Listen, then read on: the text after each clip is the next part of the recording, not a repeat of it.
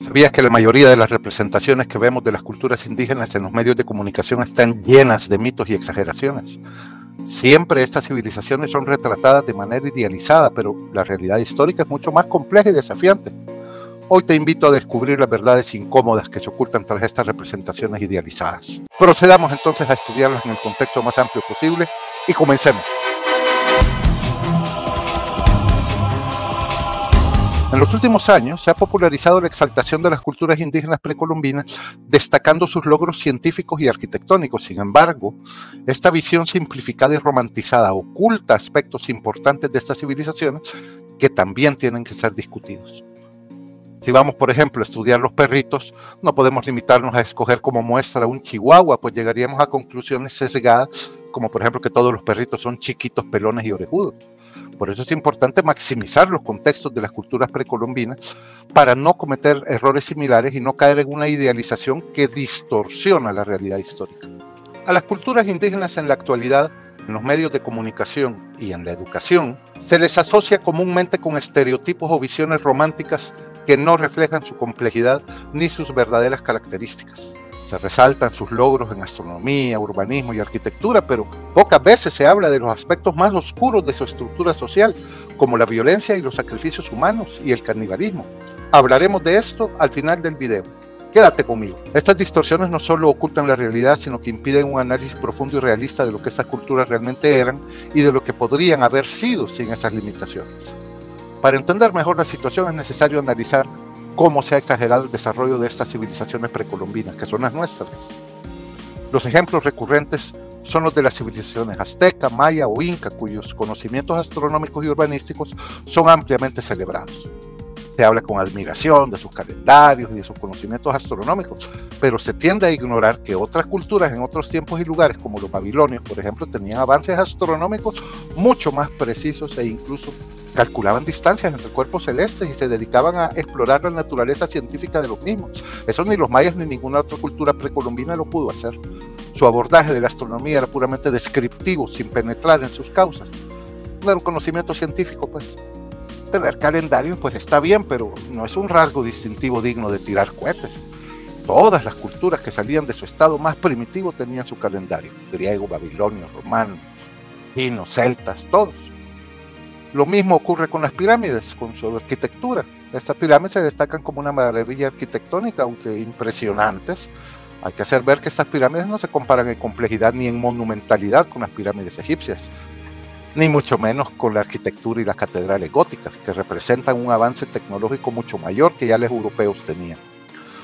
El urbanismo precolombino tiene luces impresionantes, pero en general eran escasamente funcionales y por eso la cantidad de auténticas urbes en América precolombina era pequeña.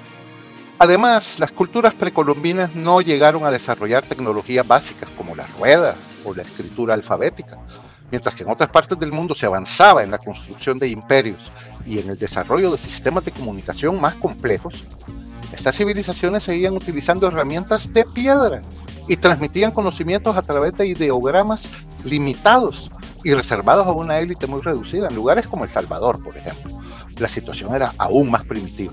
Nuestras culturas locales, lejos de haber alcanzado una fase imperial, se encontraban en constante conflicto y no tenían la estabilidad necesaria para el progreso tecnológico o cultural.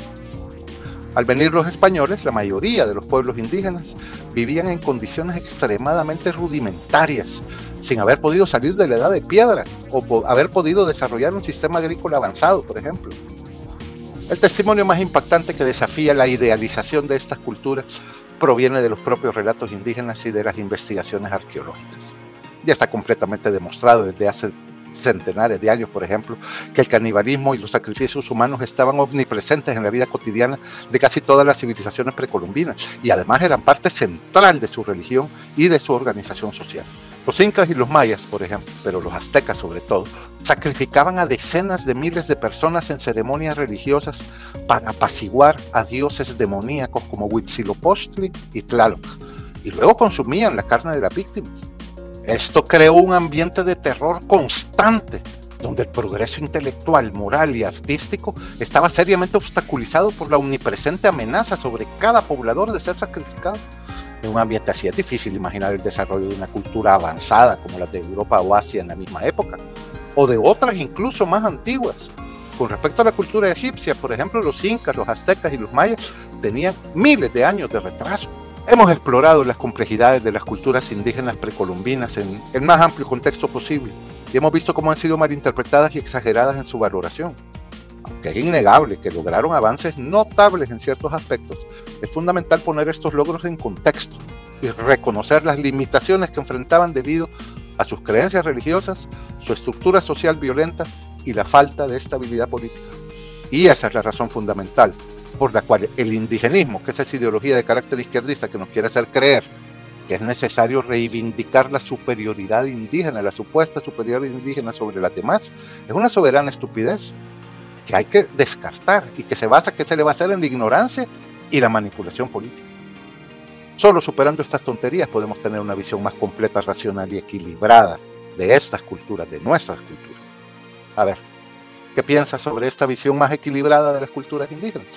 Déjame por favor tu comentario, pero no dejes de ver ahorita mismo nuestro vídeo titulado La verdadera identidad indígena revelada, en donde sacamos a la luz más falacias de esta ensalada de mentiras de carácter izquierdista llamada indigenismo.